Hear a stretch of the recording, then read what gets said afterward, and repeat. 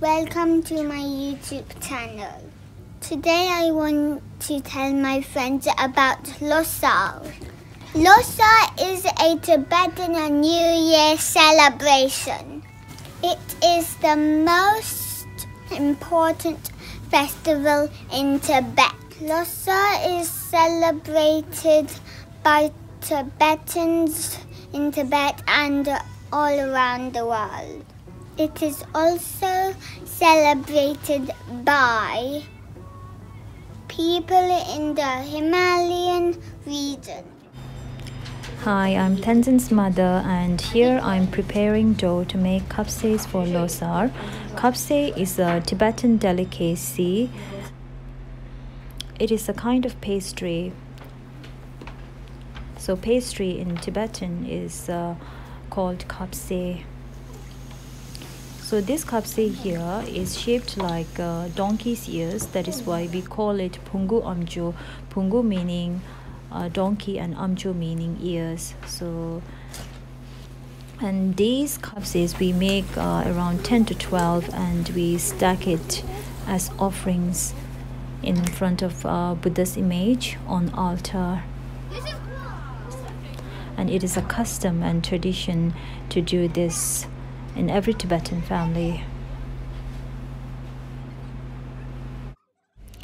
And for Losar, we decorate our altar with offerings of delicacies, food, flowers, and uh, all kinds of good things.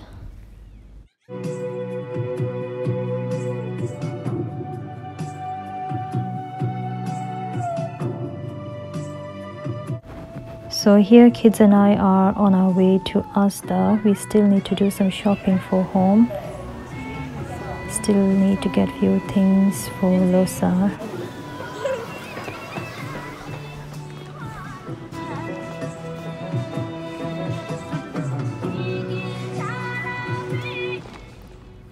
This day is Nyishu Gu. Nishugu is the 29th day of the last month of the Tibetan calendar. So on this day, it is a custom to eat noodle soup in every Tibetan family. And uh, this noodle soup is called uh, guthuk. Gu meaning nine and thuk meaning noodle soup. So, and so this is how I prepare my um, guthuk.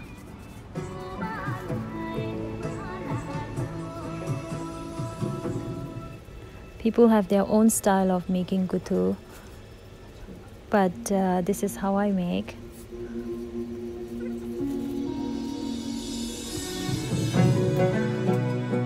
So I pull a piece of dough and roll it in my finger like this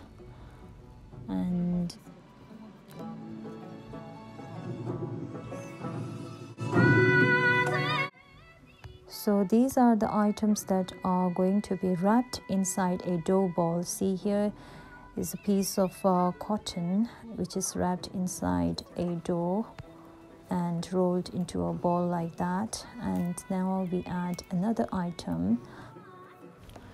So each item represents a meaning. So if someone gets a cotton in their dough ball, uh, it indicates that the person has a pure heart and if someone gets chilly that means the person has a quick temper and a sharp tongue.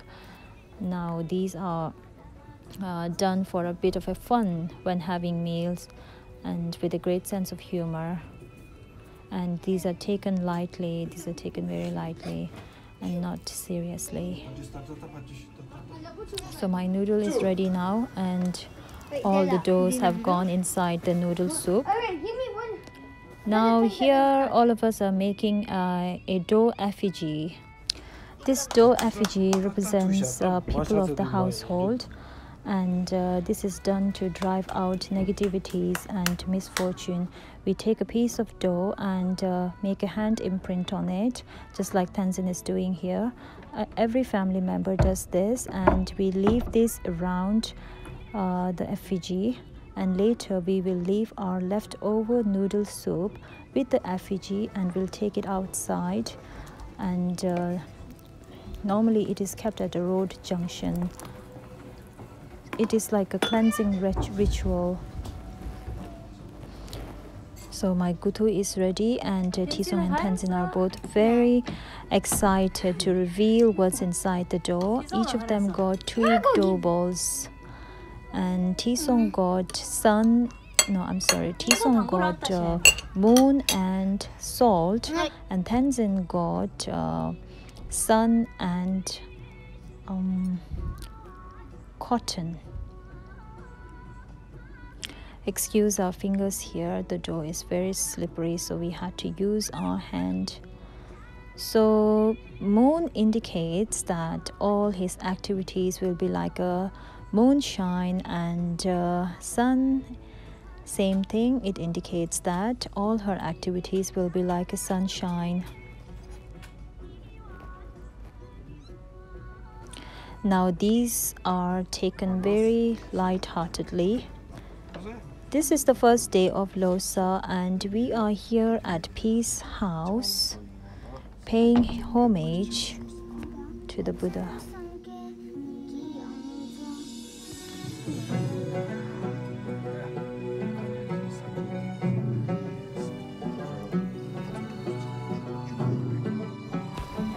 Tenzin's father is explaining to her the physical qualities of Buddha.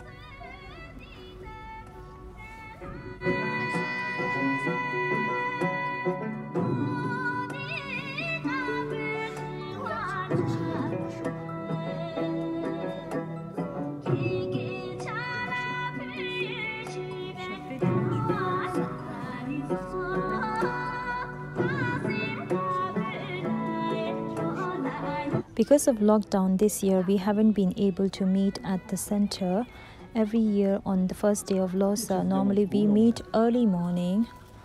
So, excuse the noise in the background. It is hard to maintain silence when you have kids in the house. So, here we are celebrating Losar on Zoom, and a famous artist is singing for us very kindly this is a short video clip. So that is it. And here is a picture of Trisong and Tenzin. I hope you enjoyed this video.